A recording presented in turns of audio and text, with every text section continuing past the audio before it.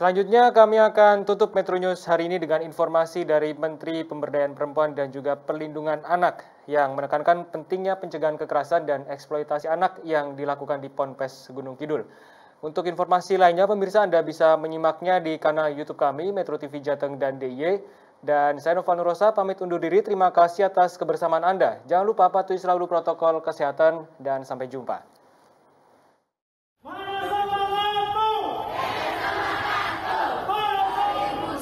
Menteri Pemberdayaan Perempuan lan Perlindungan Anak PPPA Bintang Puspa Yoga matekaken pencegahan kekerasan lan eksploitasi anak lebet kunjunganipun ing Kabupaten Gunung Kidul Yogyakarta.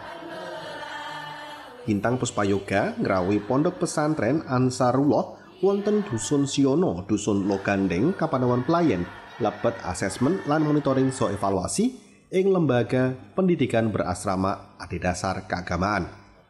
Bab kasebat dipun tindakaken wontenipun dugaan ruto peksa ingkang dipun alami saperangan santri putra pinten-pinten sasi ingkang rumiyin. Kita ketahui bersama karena tanpa berbayar hanya menunggu. Lepeting pepanggian kalian pengurus ponpes lan poros santri bintang puspayoga metekaken pinten-pinten bentuk kekerasan nggih fisik utawi seksual saged dicegah pun wonten lembaga pendidikan berasrama adi dasar agami. Bintang ngajeng-ngajeng santri lan tiang sepuh wantun nglaporaken menawi lare ngalami rute peksa lan eksploitasi. Kementerian PPPA ugi sampun nyawisaken layanan laporan lan konsultasi ingkang aman.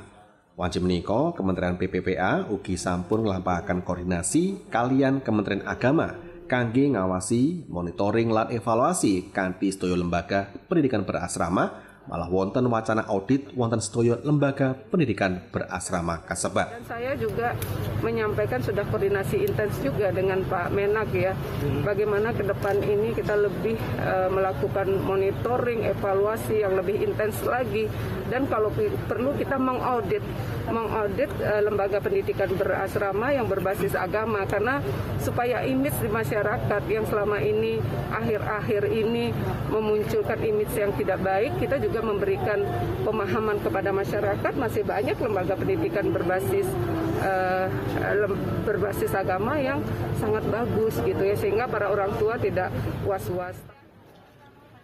Sawetawis menika pihak Ponpes Ansarullah piyambak bantah wontenipun dugaan ruto peksa wonten lingkunganipun ingkang damel dosonan santri lolos saking pondok. Pihak Ponpes ngakeni sedaya santri kasebut estu dipentepang dados santri ingkang nakal lan mantan panggino narkoba lan estu gadai niat kundur datang lelatan asalipun sanes minggat. Saking Gunung Kidul Jakarta, Erwin Hidayat Metro TV.